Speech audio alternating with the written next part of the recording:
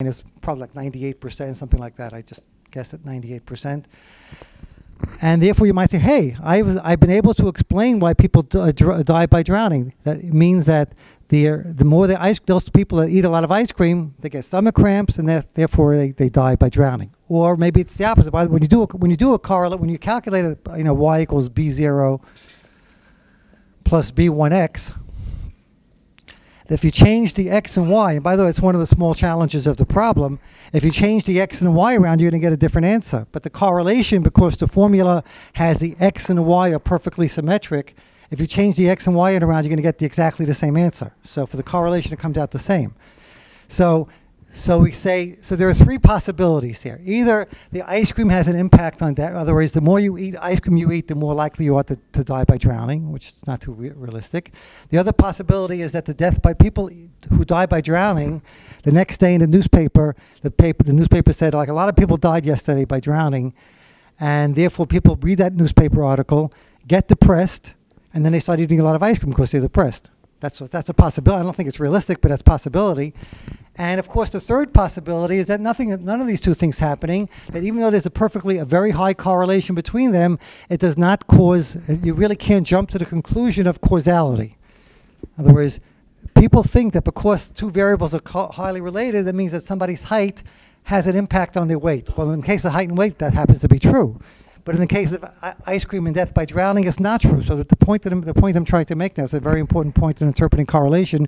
Just because you have a high correlation or a high R squared, you can't jump to the conclusion that you have a high uh, you have you you discovered a causal mechanism that one has a direct impact on the other. So now, can somebody explain why you might in fact get this kind of data, and yet it doesn't mean that x and y are both highly related. It means something. What's what's what's the what's really going on here? That there's not causality. C A U S. Causality is not the interpretation in this particular case because it's, it's not. It's true. The truth is, somebody eating ice cream doesn't have an impact on the, the amount of drowning. Yes. The fact is, they are independent. I'm trying to point this. They're, they're in. They're, they're, they're, in fact, the fact is, X and Y have nothing to do with each other. But when you graph them, you're going to get like almost a perfect correlation. It seems to contradict our whole chapter. Yes, Nick. Okay, so one is saying, uh, you're sort of saying it's just coincidental. But if if you did three, if I did three cities and it looked like this, you would say it's coincidental. But if you had a hundred cities, it's not going to be coincidence. That's in fact the formula we learned about about the p-value and about the significance of two variables that has an n in the formula. If you have a sample size of 100 and you get a line like this, there's clearly something happening here. It's not just coincidence. So, yes.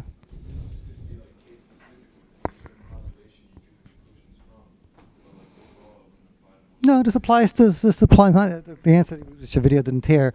It's a, it's related to the population. This is the whole country. We took hundred, take every single city. Say you have a thousand cities across the country, you get something like this. Nothing to do with it's the whole population, not specific. Yes, Alex. The, that's exactly it. That there's a third variable here, you call a z. In fact, it's a good name for it, which is equal to the temperature. So those cities which have a high temperature are going to have a lot of people eating ice cream, a lot of people going swimming, and therefore there's going to be a lot of death by drowning. So those are going to be the cities over here. The, the cities that are cold, I assume people have less eat less ice cream because it's cold, and therefore they have less, and also less people going swimming. So when you graph them, it looks like the two variables are related, but the fact of the matter is that's called a spurious relationship and you have to, you know, spurious relationship. And in this case, that that third variable, which we didn't bother collecting, but if we would have collected it, we would have realized right away that what's going on. So the third variable is temperature. Now, what if you do something like, I don't know, somebody's attitude towards, I don't know, politics and how they're going to vote? And you say, hey, there's a high correlation between those two things. That means I figured out somebody's attitude affects how they vote. Maybe yes, maybe no. Maybe it means that there's another variable that has an impact on their attitude and has another impact on their voting.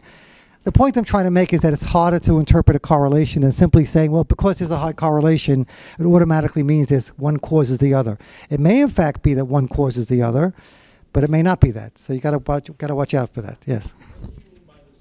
Spurious means that it looks like there's a relationship, but it's not a real relationship. But the word spurious means like fake. It's just like not really. It's just apparent. Now, one other, since we're talking about correlation, I'll give you one other uh, little warning about correlation. Let's say somebody collects data on X and Y, And the correlation between all those variables, basically, there's no correlation. Remember, a blob of dots like a circle means there's no relationship. But one person in that particular set of data was extremely high on the x and extremely high on the y. Now let's go back to the formula, which again, I don't know, Brian, Brian, can you point to the formula for a second? The formula, one of the main parts of the formula is x times the y. You can go back now, Brian. And because of that, a, a large x times a large y is going to be a giant number. And that's going to have a, a very overwhelming effect on the correlation. So when the computer, try, basically the correlation tries to see how close to a straight line is the data, the computer is going to see something like this. And it's going to say, hey, it's pretty much a straight line and therefore it might look like a correlation equals, I don't know, 0.80, when in fact there's really nothing going on. It's just one person called an outlier that basically messed up your data. So the question is very difficult. How do you decide if something is truly an outlier or really really belongs in a data set? It's really a difficult question. It has no real answer. But the point is you have to watch out. You have to make a graph of your data. Another, since we're talking about them, let me do this quickly. Let's say, for example, your data looks like this. I pointed out to you early on that this this case the correlation will turn out to be close to zero, when in fact there's definitely a relationship between the x and the y. Another thing to watch out for. Another thing to watch out for is something like this. You have, let's say you do male, the correlation between, in fact, this happens to be, I'll give you a real life example, which is very interesting. In fact, I did a, a research project on this. You have vitamin D levels, and you have the bone mineral density, how basically how, how, how dense or how strong somebody's bones are. So for reasons that, that are not that clear, it turns out that if you take, let's say, a bunch of people, uh, the higher the vitamin D, the higher the bone. And the more vitamin D you have, the better, better your bones. But it's not really true. Okay, here's what happens. It's only slightly true. It's true. The more, the more vitamin D, more or less, you're going to get better bones. But so, if, but if you collect for, for blacks, the vitamin D levels are tend to be low, and their bones are stronger. So this is this this happens to be the the the picture for, for black people. Whereas the more the vitamin D, the more the bone den mineral density. But it's you know it's a weak relationship, but it's between X and Y. For whites who happen to have higher levels of vitamin D, generally, because their white skin absorbs absorbs the sunlight, but their bones are, are, are weaker or not as, not as strong. So this represents the picture for whites. This is a picture for whites, this is a picture for blacks.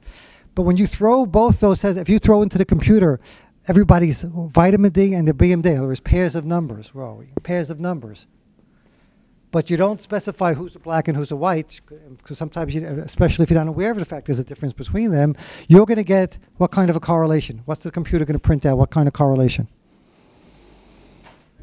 A negative correlation. R will be less than zero. What does that imply? That, so if you just read the results without knowing deeper what's going on, you would say, you know what, the more vitamin D you take, the weaker your bones, which of course is not true.